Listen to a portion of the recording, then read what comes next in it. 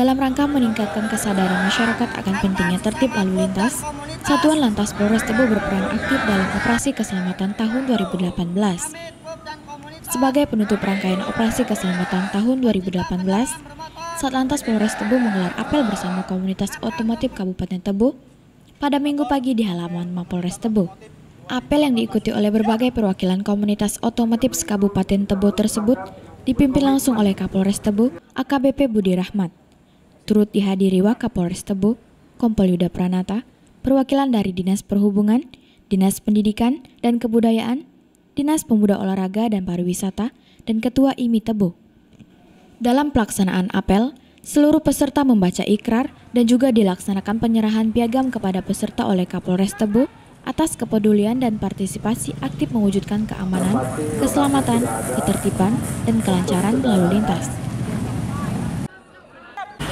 dalam rangka uh, apel komunitas kendaraan bermotor yang kita laksanakan uh, sembari uh, pelaksanaan operasi keselamatan tahun 2015. Harapan dan maksud dan tujuannya dengan anak motor ini gimana bang?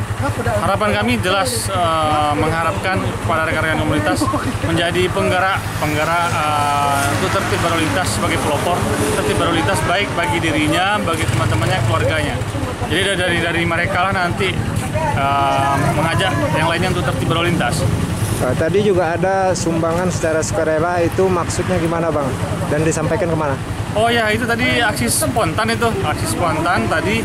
Jadi rekan-rekan komunitas itu Pak kita uh, bagaimana kalau kita melaksanakan tali asih? Nanti tali asih itu kita sampaikan ke panti asuhan. Kami menyebut positif. Jadi keberadaan mereka sebagai komunitas. Dalam amanat, Kapolres Tebo kembali mengingatkan kepada seluruh peserta apel agar dapat menjadi pelopor tertib berlalu lintas di wilayah hukum Kabupaten Tebo.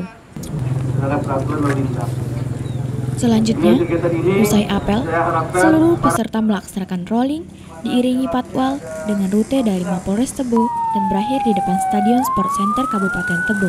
Dari semua rangkaian kegiatan apel, berjalan dengan lancar dan sukses. Kasat Lantas Polres Tebo AKP Aulia Rahmat menjelaskan maksud dan tujuan kegiatan sekaligus menyampaikan bahwa ada aksi spontan sesudah apel, di mana peserta mengumpulkan uang secara sukarela sebagai bentuk tali asi yang kemudian langsung diserahkan oleh Kasat Lantas dan anggota didampingi Ketua Pembina Komunitas Otomotif Tebo. Dari Jambi, Mas Mulhadi, Tribrata TV. Salam, Tribrata.